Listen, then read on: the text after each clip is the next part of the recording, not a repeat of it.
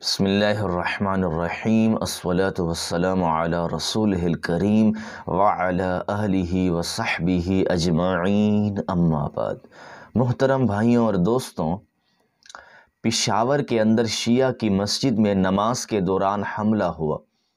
बहुत से नमाजी शहीद हुए। कुछ मासूम बच्चे भी थे जो जाम शहादत नोश फरमा कर अल्लाह की बारगाह में पहुँच गए।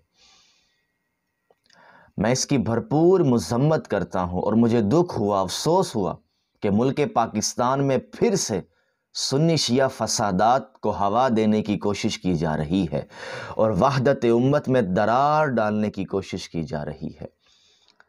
मैं इसकी भरपूर मजम्मत करता हूँ और भाइयों और दोस्तों, मुल्क पाकिस्तान में फिर से सुन्नी शिया फसादात को हवा देने की कोशिश की जा रही है।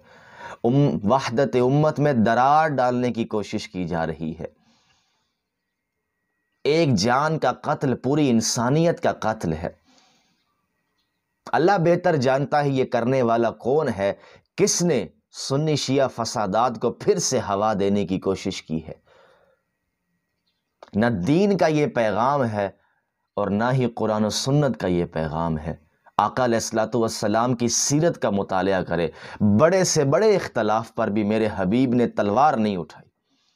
जहाँ उठाई है, मौका महल और है, शराइत हैं, हदूद क़यूद है। लेकिन इस तरह इख्तलाफ को दूर करना,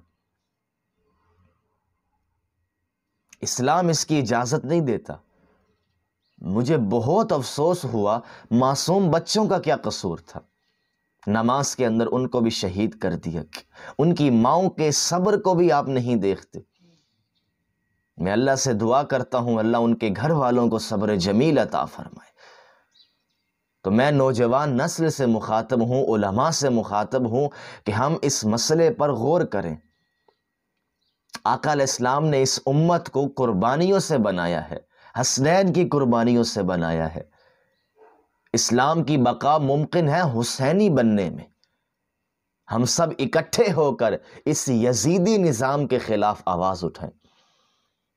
ये यजीदी निज़ाम नहीं तो और क्या है? मस्जिद में धमाका करना। बैतुल्ला पर किसने हमला किया था? तो अब यजीदी निज़ाम आम हो रहा है, हमारा हक बनता है, हम हुसैन इबन अली के नक्श कदम पर चलकर, हुसैनी बनकर इसका मुकाबला करें। चाहे इल्म से करें, माल से करें, जान से करें, जिस तरह से मुमकिन हो या ताकत के ज़ोर पर करें। लेकिन हम यजीद के ख़िलाफ़ ज़रूर निकलेंगे। सुन्नी शिया मिलकर इस पर बात करें कि इसको किस तरह से संभालना है, वरना मैं बात कर रहा हूँ। अगर इसको ना रोका गया तो सुन्नी शिया फसादात फिर से शुरू हो जाएँगे। फिर से कत्ल गारत शुरू हो जाएगी। फिर से मुल्क पाकिस्तान में दहशत गर्दी शुरू हो जाएगी। ये खवारज का जो निज़ाम, यजीदियत का जो निज़ाम आ रहा है कि सबको मार दो, खुद को हक पर कहो, कोई दीन इस्लाम नहीं है। ये खारजियत है, नासबियत है, यजीदियत है। अहल बैस से दूर करने की कोशिश की जा रही है।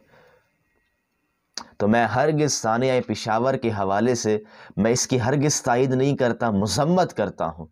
सुन्नी हो या शिया हो, जान जान है। हर माँ का बेटा है, हर बाप का बेटा है, हर मस्जिद का नमाजी है। हमारे इल्मी इख्तलाफ अपनी जगह, लेकिन इस तरह से उसका इजहार करना, अल्लाह हिदायत दे ऐसे ालमुक तो मैं दावत फ़िक्र देता हूँ उलमा को, नौजवानान इस्लाम को, कि हम बैठकर मसले का हल निकालें। वक्त आ गया है कि अहलुलबैत की मोहब्बत को आम करें। इसके अलावा कोई रास्ता नहीं है। सहावा कराम की कुर्बानियों को बयान करें। कोई रास्ता नहीं है इसके अलावा कि हम इस फसाद से नजात हासिल कर सकें।